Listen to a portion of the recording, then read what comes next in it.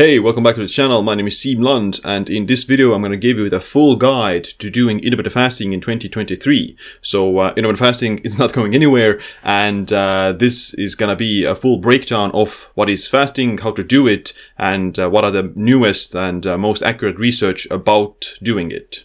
Do it. If you're new to the channel, if you haven't heard about me before, then I'll briefly introduce myself. My name is Siim Land. I'm from Estonia.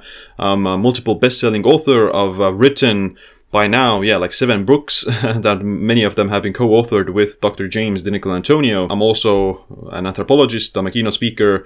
I consider myself like, like a biohacker or yeah, like that's what I do. And, but, uh, yeah, like everything involved around health, fitness, performance, and just overall uh, well-being and a lot of it longevity wise as well. So let's start with some of the basics. What is intermittent fasting? Well, essentially fasting is just like not eating and intermittent fasting refers to doing that intermittently. No, many people, you know, when they say intermittent fasting, then they mean like the 16 and 8 method where they fast 16 hours and eat within 8 hours. So that's a form of intermittent fasting by definition, uh, or by definition, it's more like time restricted eating because you're confining your daily eating window in a certain time frame. Intermittent fasting actually is usually, you know, that you're eating on one day, you're not eating another day, and you kind of like uh, swapping between periods of eating and fasting. But for the sake of simplicity and uh, you know, for the sake of just making keeping it simple, uh, we'll just um, stick to the same uh, term of intermittent fasting throughout the video to describe this uh, general way of eating, where you are just you know confining your daily eating window in a certain time frame, and in that time frame, generally you're not allowed to consume calories that would uh, you know generally stop the fasted state. And uh, you're just yeah staying in a fasted state which refers to pretty much allowing your body to run on its own uh, backup energy stores. And uh, yeah when you are in a fasted state then you go through different physiological processes.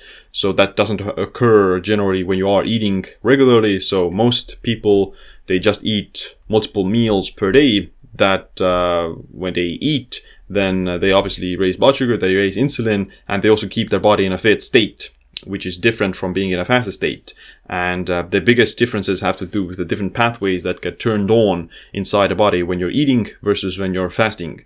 And uh, when you're fasting, for example, then you start to burn more fat, your fat oxidation increases, eventually you're going to go into ketosis, you're going to suppress the growth pathways in the body that uh, actually have some longevity benefits, and uh, you conduct this kind of you know, self cleaning, eh, for lack of a better word, that uh, you're removing dysfunctional cell components with the process of autophagy. And uh, yeah, you're ju just pretty much allowing your body to rest and uh, not digest food that happens if you're just eating multiple times per day.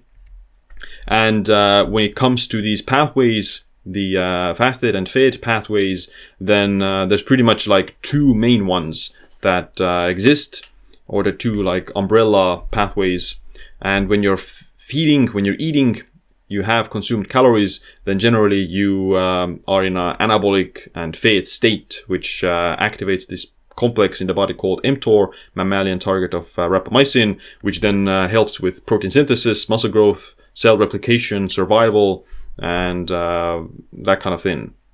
In excess, the mTOR complex has been, you know, considered to accelerate aging and uh, be linked to some cancers and malignancies, but obviously it's very kind of nuanced and it not necessarily applies to humans all the time. But uh, in my opinion, you know, excess mTOR still has like some negative side effects. It can speed up immunosenescence. It can weaken your immune system over, over time. Um, and uh, I think it would also have like a downstream effect on aging overall if you're like eating around the clock without any time restrictions. So that's why doing some form of time restricted time restricted eating or intermittent fasting may have uh, yeah like just uh, some of these benefits that you don't get if you're just eating all the time and a lot of those benefits are mediated by kind of the fasting complex or the kind of calorie restriction complex called AMPK, AMP activated protein kinase, which is more of like a, this catabolic pathway in the body that uh, regulates autophagy. It regulates NAD recycling, which uh, helps with energy production,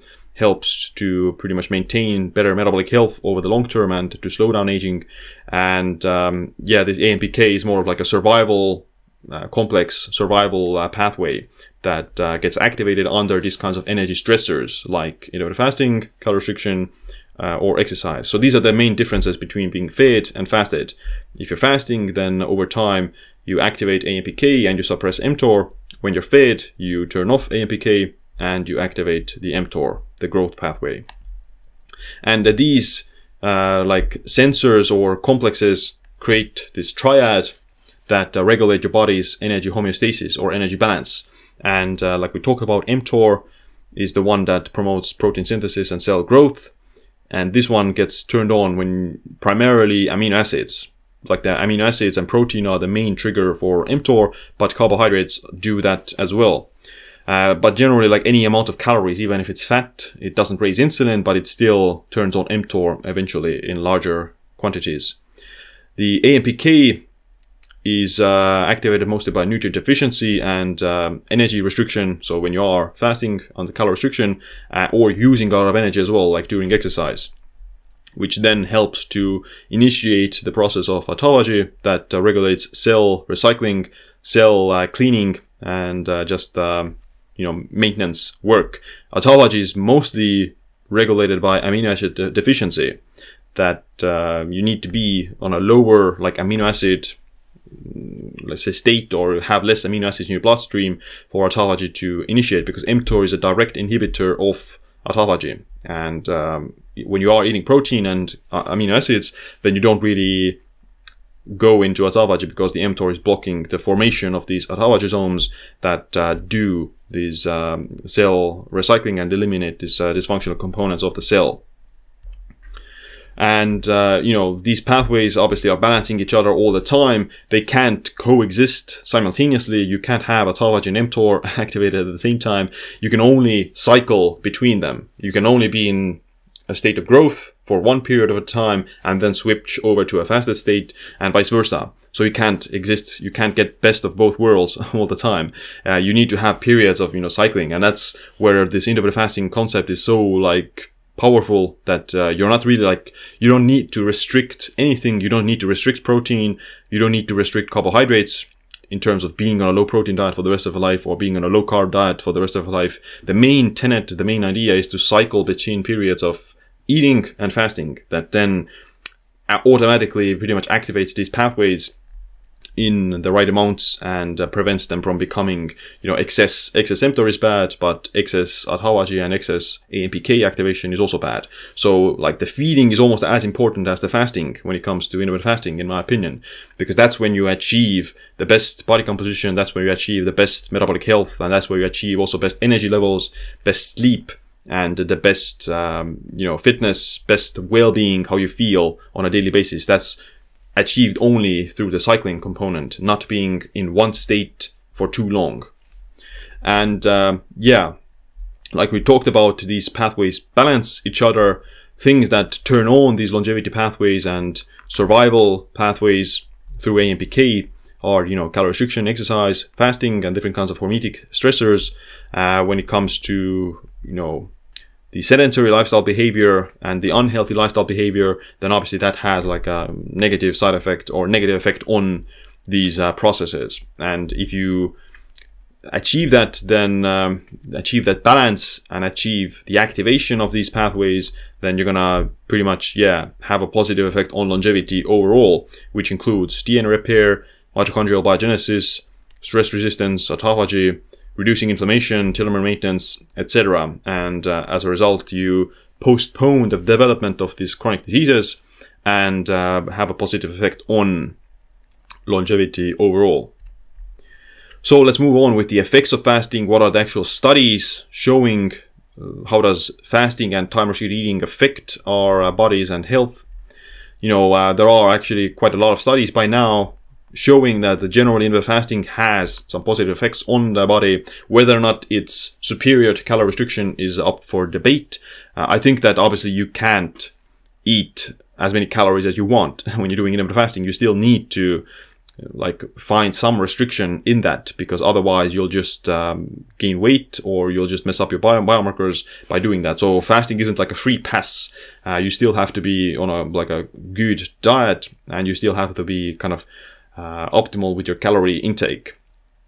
but uh, some of the effects of fasting um, are like something that uh, happen also in spite of the calorie restriction. So many people who do intermittent fasting, then they end up eating less calories automatically.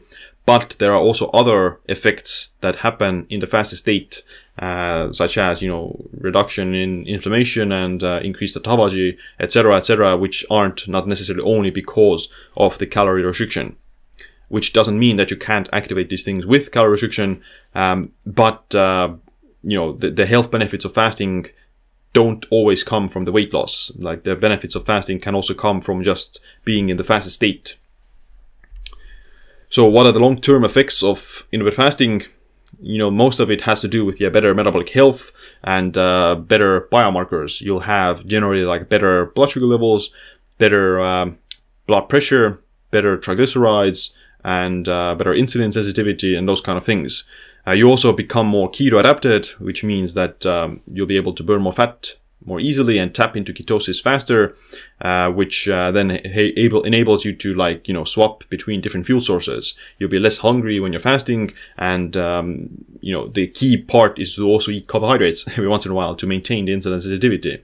If you're prolonging this fasted state for too long or being in ketosis for too long, too often, then uh, your insulin sensitivity will suffer slightly. So again, the cycling component is where the magic happens generally. And swapping between these different pathways between fat burning and burning carbohydrates, that's what trains your metabolism. That's what uh, kind of teaches your metabolism to be more flexible and to, to achieve like more optimal uh, functioning in the process.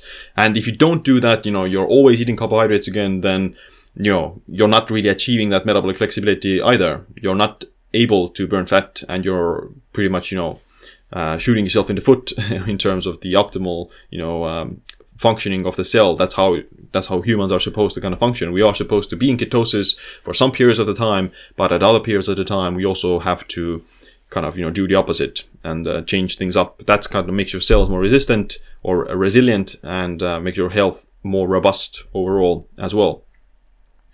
So calorie restriction, as well as intermittent fasting and physical exercise, they're all forms of hormesis that uh, do, you know, cause stress to the body, but that stress actually makes you stronger.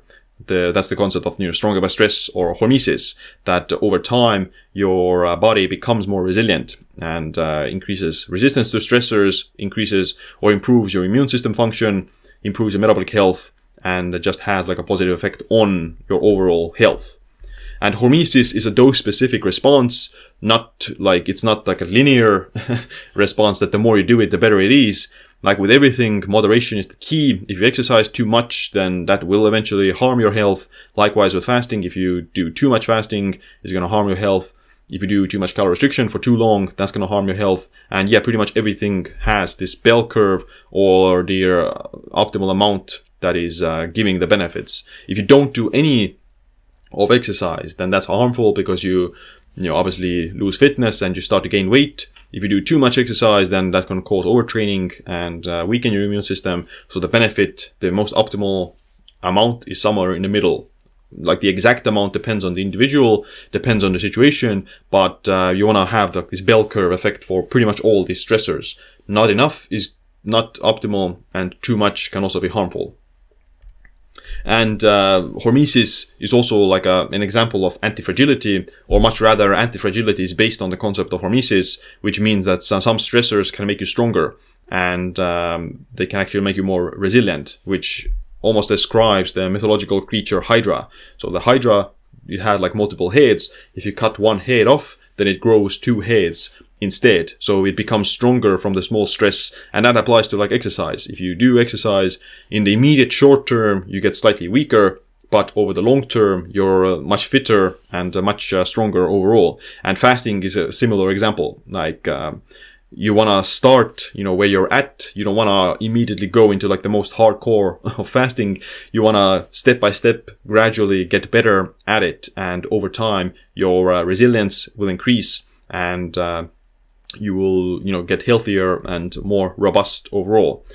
if you're like not doing any of these hormetic stressors, you're not exercising, you're not doing any like saunas, or you're not doing any intermittent fasting, then that generally leads to more fragility and frailty. Like uh, your immune system will weaken uh, your, because our bodies need this kind of small hormetic stress, and we need this small kind of exercise to maintain most optimal uh, functioning. And in the modern world, we're not like it's not mandatory to fast. It's not mandatory to exercise. We can get away with being sedentary and just sitting on a couch and overeating. But obviously that will just, you know, that's what we, that's why we have such a problem with uh, health. Uh, many people just suffer from uh, poor health and obesity because they're not doing any of the difficult things. They're not doing on any of the stressors voluntarily. They're just uh, choosing the easy way out. so as individuals who want to achieve optimal health, we just have to impose this hormetic stress on ourselves, which includes, you know, voluntary regular exercise and some aspects of time restricted eating and intermittent fasting. Uh, calorie restriction is uh, one of the most known like uh, ways to extend lifespan in other species, and it has been found to have positive effects in humans as well. So in this human study, they did find that calorie restriction for a few weeks uh, had like these positive effects in increasing autophagy, increasing DNA repair, apoptosis or programmed cell death, increasing antioxidant defense, activating these different longevity pathways like sirtuins and AMPK, suppressing mTOR, and uh, promoting mitochondrial biogenesis as well as reducing inflammation. So calorie restriction, yeah, does a lot of the same things as intermittent fasting, that uh, it has a similar positive effect on the um, longevity and lifespan. And in uh, like uh, primate and uh, monkey studies, they find that uh, the calorie restriction also extends lifespan.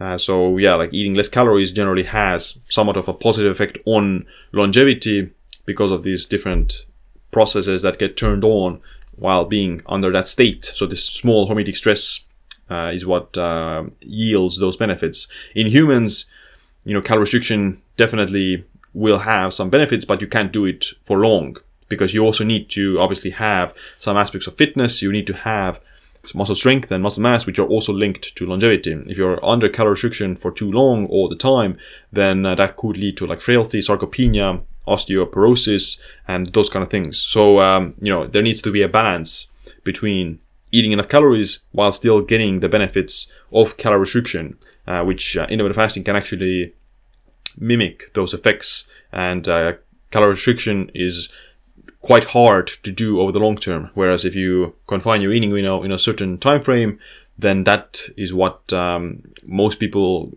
generally can find a bit more easier to do. So yeah, like David Sinclair, who's a lot renowned like longevity researcher, uh, he has also said that yeah, it's uh, quite hard to be hungry all the time if you're doing calorie restriction. And uh, this is where like intermittent fasting can help to mimic a lot of the benefits of calorie restriction without necessarily being on a very low calorie diet. Because to calorie restriction to work, you need to be, yeah, under quite a severe calorie restriction. You need at least like 30% of calorie restriction to uh, pretty much have those uh, effects.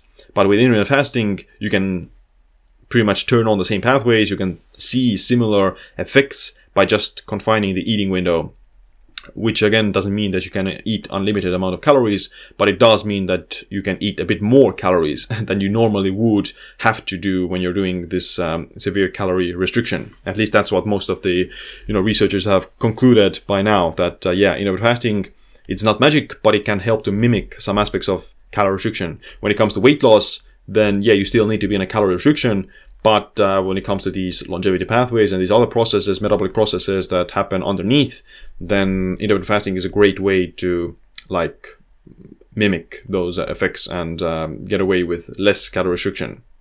All right, so let's move on with time restricted eating, which is a component of the circadian rhythms or concept of circadian biology. And uh, what it essentially means is just uh, intermittent fasting or uh, confining your eating window in a certain time frame. There are types of it like early time restricted eating and late time restricted eating, and the studies on both of them uh, have found that uh, yeah, the time restricted eating has health benefits uh, compared to the standard way of eating. Like it's gonna be better for your metabolic profile and blood pressure. Um, but obviously many of those effects can come from just eating less calories in that time frame. If you say to people that, hey, eat only between 8 a.m. and 2 p.m., then uh, they will automatically just start eating less calories generally. Uh, whereas if you eat around the clock without any restrictions, then there's gonna be more like possibilities and opportunities to eat, which is why the time restricted eating can have like this good like adherence uh, effect for most people. When it comes to eating early versus late, then uh, the studies find that um, yeah, the early time restricted eating has a little bit of a better effect when it comes to like the weight loss is the same, but when it comes to the metabolic profile, then early time restricted eating uh, has been found to have like small improvement compared to late time restricted eating. But the, the, difference, whether or not it's significant, depends on the other aspects, like depends on when you exercise, how well you sleep, how many calories you're eating in that time window, and etc. Uh, but uh, overall, yeah, like the pretty much there have been like multiple studies in 2022 even uh, going through early time restricted eating versus late time restricted eating, and they they they see see pretty much all the time that uh, early time restricted eating has somewhat of a better effect in like uh, the blood pressure, the fasting glucose levels, fasting insulin, uh, insulin resistance, and uh, metabolic health overall. Both of them help with weight loss, um, but uh, early time eating has like a somewhat of a better effect. And uh, yeah, as you can see from this graph from that study, that yeah they eat very similarly in terms of calories, uh, but you know in this study the early time restricted eating group actually ate a little bit less uh, on average, uh, but um, yeah, the results are also somewhat better compared to uh, like late time restricted eating. But the good thing about it is that both of these groups do better than the controls generally. Like the, both of the time eating groups, whether they are early or late, do slight, slightly better than control groups uh, where they eat, you know, around the clock without any restrictions. And uh, yeah, both of them can help with weight loss compared to controls. Uh, both of them have less fat mass. And interestingly, early time restricted eating group actually loses a bit more uh, muscle mass, which is uh, interesting, uh, probably because you, you know you're most anabolic when you're sleeping, and if you're going into a bed with like very empty stomach and without any amino acids in your bloodstream, then um, chances are, yeah, you're gonna be more catabolic, or you know, you're gonna be more prone to losing muscle compared to eating somewhat uh, later. So what I take away from this in my own life is that, yeah, I don't want to eat immediately before bed. I don't want to eat very late. Um, I do want to, you know, have like early dinner, uh, but I don't, I don't need to necessarily eat in the morning all my calories. Like, I don't think that's the kind of main message.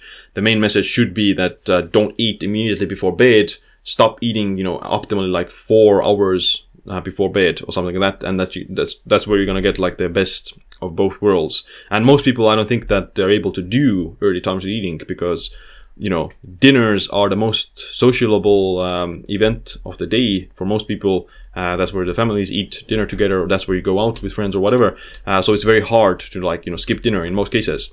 Uh, but you what you should do still is to like not have the dinner uh, too late, in my opinion.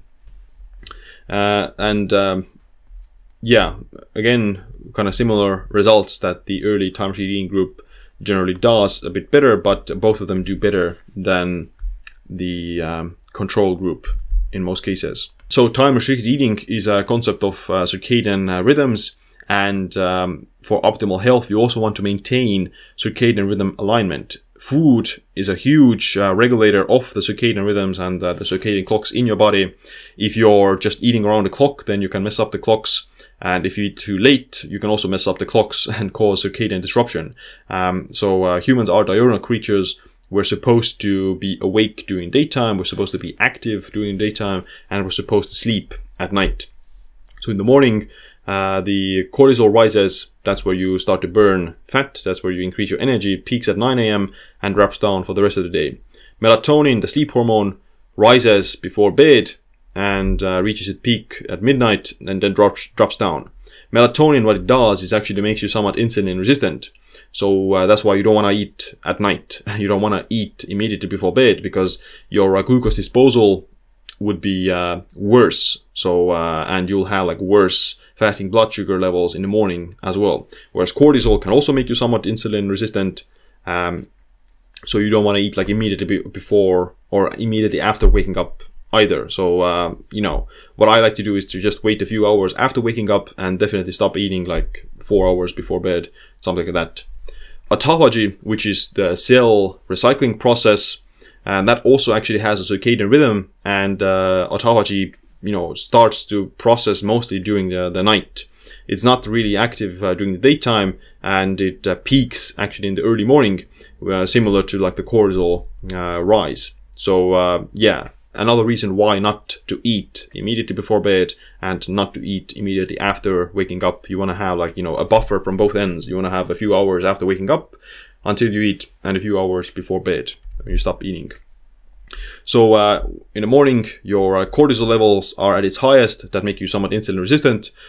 It's not the best time to eat at that point, and uh, ghrelin, the hunger hormone, generally rises immediately after waking up uh, if you have a healthy metabolism, but it drops down for the rest of the day um, as well if you, if you don't like you know immediately eat. So ghrelin actually has some health benefits as well, like it increase uh, growth hormone and uh, it can like promote some of the activation of AMPK and uh, these other like survival pathways. But obviously, if you have high amounts of ghrelin all the time, then you can just overeat whenever you do have the opportunity to eat.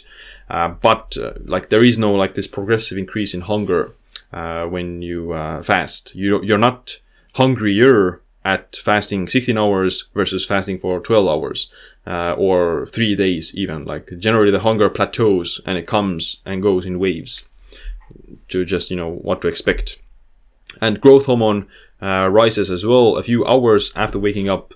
Uh, which again helps with the fat burning, helps with muscle maintenance, and has like some longevity benefits as well. So again, you know, a few hours after waking up is what is when you want to have your first meal if you do choose to have like um, like uh, multiple meals. Uh, and uh, the reason for that is yeah this uh, rising cortisol rising growth hormone uh, that uh, wouldn't ha- happen. The growth hormone wouldn't rise if you eat like a bowl of cereal immediately after waking up. So you need to wait a few hours for this to kick in. And if I were to like put together like some sort of food clock or like the time frame in which to eat, then I would say that the most optimal time frame to eat in is between like 10 a.m. and 6 or 7 p.m. Uh, because yeah, like in the morning, it's the cortisol rise that is not recommended to eat, and in the evening or at nighttime, it's the melatonin that uh, should stop you from eating or prevent you from uh, eating. And uh, you're most insulin sensitive at daytime between you know 10 and 12 and um, you also have you know best physical performance in the afternoon. So this is the best time to kind of eat in my opinion. All right. So let's move on with the types of uh, fasting. What are the different types of uh, doing that? So uh, the th- three main categories in my opinion are the 16 and 8 method uh, which uh, is just uh, like skipping breakfast and eating lunch and dinner or whatever form of doing it. But the main idea is to just uh, fast for 16 hours and eat within 8 hours. Uh, that is very simple. I think most people can do it. It's actually pretty good for being able to progress at the gym and make gains. And you don't really, yeah, like need to ever change it. It's if there's one fasting window that you could do for the rest of life, then uh, that's it. That's the kind of the most um, easiest thing to do. There's also one meal a day, OMAD, uh, which is yeah, just eat one meal a day or within a certain time frame. In my opinion, that's not uh, the most like um, uh, suitable for uh, beginners, and it can definitely be harder, a lot harder than the 16 and 8. It's uh, not the best for muscle growth. It's actually very hard to build muscle with, and it requires more adaptation. Uh, the negative side effects of OMAD can be that you can like slow down your thyroid function. You can cause like this metabolic adaptation. And uh, definitely for uh, women it's not suitable in my opinion uh, either. Um, whereas men can get away with omad but if they do it too much or if they combine it with a lot of the other stressors then uh, they can again su- suffer from low thyroid or re- reduce the testosterone levels. There's also alternative fasting adf which uh, means that you um, fast one day and eat the next day. So uh, this is actually quite effective for uh, weight loss, and it has a lot of research showing that it helps with diabetes and just metabolic syndrome and other things like that. Alternative fasting is very well researched. It um, has been found to work, and it uh, pretty much is quite you know adherable as well. It's it's somewhat harder again than the 16 in 8 obviously, but uh, again it's easier than like a multi-day, three-day fast or something like that. I personally don't think that it's uh, worthwhile to do a lot of alternative fasting, or at least like you don't want to do alternative fasting indefinitely. You can do it like you know a few times a month, one cycle, but uh, if you do it like you know back to back all the time for the rest of your life, then I don't think that's mm, generally not uh, suitable for most people. Like obviously some people can pull it off, but um, the general public or the average person don't need to do it in the first place. And um, yeah, it's not uh, inherently necessary or recommended. Uh, when it comes to eating frequency, then uh, there was actually one 2022 study that looked at three meals a day versus one meal a day, and uh, they found some interesting things from that. The uh, one meal a day group lost more weight because they ate also a bit less calories, but they also lost a bit more uh, muscle tissue uh, but they also lost, you know, more fat tissue than the three meals a day. So yeah, like just the one meal a day group will lose more weight, but there's will, but there's gonna be a bit more uh, lean tissue loss as well. So um, again, one meal a day can work for a lot of people. I myself do it. Yeah, I've done it for multiple years, but uh, it has like the potential downside that it could lead to some additional muscle loss as well. But the other biomarkers improve with both of them, granted that uh, you're in a calorie restriction. And uh, when it comes to the glucose levels, the 24 hour glucose levels, then uh, yeah, when you're eating one meal a day, then your average blood sugar levels during the daytime when you're fasting are lower than the three meals a day, but they rise to kind of normal, regular levels when you uh, do eat eventually.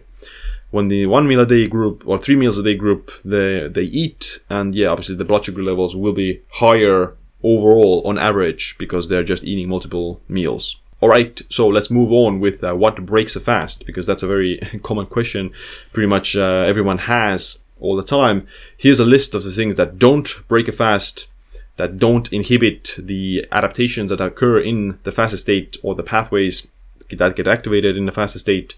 So anything that is zero calories, like water, mineral water, are fine. Coffees and teas are fine. Um, they don't have any calories. I mean, they do have like you know two calories or something like that, but uh, it's so small that it doesn't uh, have any effects. And in fact, coffee and teas both actually increase autophagy. So it's very uh, shown that both the caffeine as well as the polyphenols in coffees and teas uh, promote autophagy. So it, in in in some cases or in some sense, the coffee and tea actually enhance the benefits of fasting or they speed up the benefits of fasting. You get the benefits faster. And, um, or they mimic fasted physiology and they mimic calorie restriction by activating these pathways. Uh, apple cider vinegar does a similar uh, response that it activates AMPK, helps with fat burning and ketosis, lowers blood sugar. Uh, diet soda, you know, obviously is very controversial. Uh, people say that you shouldn't drink diet soda, whatever. I'm not telling you if you should drink it or not. Uh, but the point is that diet soda, there's nothing about diet soda that would actually, you know, stop a fasted state, in my opinion. Uh, there's no, there hasn't been anything that would indicate that, like the, the amount of calories is very small. It has like, you know, five calories and, uh, it's not enough to pretty much kick you out of a fasted state. There's also the argument that it raises insulin, which, um, or raises blood sugar, I mean, I tried with the CGM. I had a CGM. I drank the Diet Coke, and my blood sugar actually dropped down. Which you could say that yeah, my insulin raised, which lowered my blood sugar. But uh, I don't think that it matters. Like I mean, there's many things that raise that. Like you can exercise, and exercise could also then kick you out of fast state based on that argument. But um, yeah, in my opinion, it's just not. There's nothing about it that would indicate that it could like you know break a fast or something. Uh, like i said i'm not saying that you that it's a healthy drink. I'm not saying that you should drink it or something. But uh, i'm just you know looking at the facts and looking at the effects the physiology of uh, what happens. From the microbiome side then uh, there's also nothing nothing there that could like you know say that it breaks a fast or something like that. Uh, uh, supplements most of the supplements are also not going to break a fast. Like even if it has like fish oil or vitamin D that's inside some sort of um, oil, the amount is so small that it's not going to break fast. And uh, like magnesium is not going to break it fast. Some of the mineral supplements, uh, some vitamin supplements, they're not going to break fast. And they're kind of, you know, whether or not you should take them in a fast state is different. Some of the supplements are fat soluble. You want to take them with food or with some fats but uh, at least they're not going to break fast. Maybe you're wasting them if you're taking a fast state, but you're not like stopping the fast state, if that makes sense. Um, MCT oil, so uh, and like olive oil as well, on your pure fat, uh, is not going to inherently break a fast in smaller amounts because it doesn't raise insulin, it doesn't affect your blood sugar, um, and um, the ketones that rise from the MCT oil actually can help help with uh, some of the fasted physiology and like fat burning. And exogenous ketones, the same. Uh, they don't like obviously they don't have like calories in large amounts that would break a fast. Uh, in large amounts, they can still activate mTOR and insulin. The same with with uh, fats. So it like super large amounts of MCT oil, like in bulletproof coffee, uh, that would also still inhibit the fast, but like 100 calories of MCT oil is not going to do it, but a 1000 calories uh, probably will. Uh, electrolyte powders, so like LMNT or these other are just electrolyte drinks, even if they have some sweeteners like stevia, they're not gonna break the fast. Uh, chewing gum is uh, also with like maybe two calories but uh, it's not gonna break the fast and uh, it's not gonna have any effect even if it has like some uh, sort of sweetener or something like that here are the things that do break a fast. So sugar sweetened beverages so uh, regular coke regular uh, electrolytes with like gatorade or something like that. That's gonna break a fast. Juices everything has sugar is a very direct inhibitor of autophagy and the fast state. Milk in your coffee you know that's you know the amounts matter. Like one tablespoon of milk or something, like 100 calories of milk probably is fine. But, um, you know, technically it still, you know, kind of breaks a fast. But I wouldn't like, you know, worry about it that much. If you like to have milk in your coffee and it helps you to get through the fast, then like, why not? I don't think, I don't see like a issue with that. You don't need to be like a micromanaging with it that much. Protein shakes and amino acids because they contain amino acids that inhibit autophagy and just yeah anything that has food and calories technically speaking, yes, they do break a fast, but whether or not they have any meaningful impact on the fasted physiology and the pathways that get activated in that fasted state is a different question. Like, um, yeah, it may not inherently stop AMPK and it may not inherently stop autophagy if it has calories. Uh, how to break a fast. So when, when you're pretty much, you know, done fasting, what I like to do is, yeah, like drink coffee and some electrolyte powders and um, things like that in the fasted state. If I'm about to break fast, that and it's like actual food, then I would um, you know start with something that is uh, easy to digest. So uh, getting some bone broth or some soup liquids is good, especially after a long fast, like multi-day fast that you want to want to do. You don't want to start with like high glycemic uh, foods because that can cause like some aspects of refeeding syndrome, which means that you get actually super hyperglycemic and uh, you can get some adverse reactions from that. To prevent that, you want to have adequate amount of uh, sodium and other electrolytes in your bloodstream before you break the fast. And uh, that's why like mineral waters are great and some of like electrolyte powders, even like regular salt in your water is a good way to, you know, prevent the refeeding syndrome. And it's actually quite important. Um, but still, when you are breaking a fast, I would start with something easy to digest and something that has like liquid and salt in it, like bone broth. Uh, the first food should still be somewhat low glycemic. You don't want to spike your insulin because, uh, again, refeeding syndrome and uh, can actually cause you hyperglycemia. So what you want to eat instead is some like protein and uh, vegetables, something uh, that just you know gets your digestion going.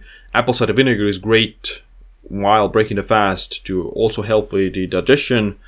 And then the second meal can be somewhat higher glycemic. You can eat some carbohydrates or something like that. But you wanna or if you eat like one meal a day, then I would start with protein and vegetables first, and then have some of the carbohydrates uh, later. And the overall, you know, kind of theme is to still eat somewhat, you know, normally. Don't uh, be so ravenous and so like gorging yourself because that can just be, you know, obviously de- defeats a lot of the purpose of the fast and uh, can have like some negative side effects on your health. as well, or sleep or something like that. So I'd much rather just eat slow, eat steady, chew it properly, be mindful of your food, and uh, yeah, try to you know not overeat, which I think is still hard. Like most people, they find it hard to overeat if they're doing intermittent fasting.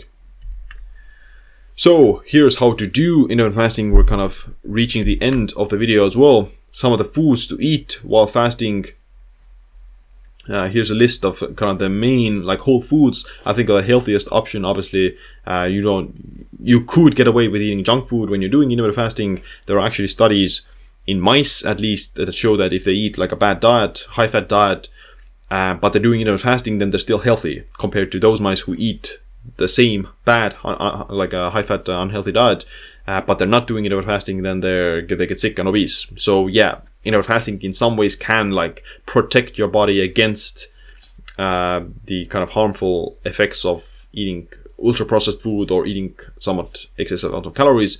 But uh, like you know, the vast majority of the time, you should still choose whole foods.